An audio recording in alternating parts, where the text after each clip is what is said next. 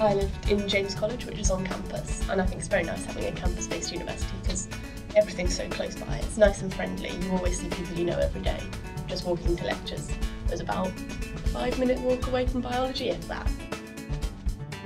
I mean, I lived in Beijing before I came here and I just didn't really miss that kind of big metropolis feeling. I much prefer this kind of cosy, safe environment. When the prospectus came in and they sent me um, my offer and my prospectus, I realised that it actually looked really beautiful and really nice. It rose up in my list very quickly once I was able to look into it um, and get told by alumni that it was an amazing experience, which I agree with. My favourite part of the course has been the practical lab side of things. Each, each lab is different. You learn loads of different techniques that you can apply in a real life job scenario when you finish uni. And it's a really, it's a really comfortable environment as well. We have a lot of sort of modern and up-to-date facilities and technology that we can use and also the, the lecture halls and the labs.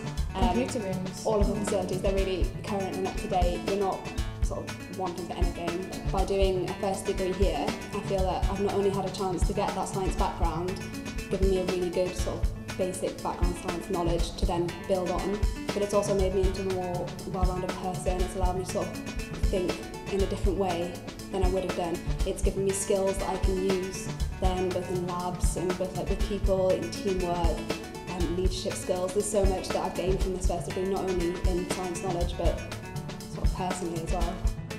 Yeah, there's quite a lot of workload um, for all the workshops and the tutorials to get, but it prepares you for the real world. It prepares you for the amount of work that you would get, and um, especially for third year when it's completely self-directed study and you need to go and do your own work. And they, they, they really prepare you very well for each um, subsequent year that you're at York. Um, obviously you learn your scientific skills, so you learn how to act safely in a laboratory, you learn how to um, understand lecture notes and do your own reading but a lot of the a lot of the things you learn at university aren't so much to do with um, your course they're a lot about just life so you learn to look after yourself you learn to be more independent you learn self-control and um, it's like university is the, definitely the best experience of my life so far. They say that the, the friends that you make at university are the ones that you keep for life and that's definitely true, especially um, at York with biosciences. So I just wanted to come up with a really good degree from a very good university to be able to say that that's what I'm capable of.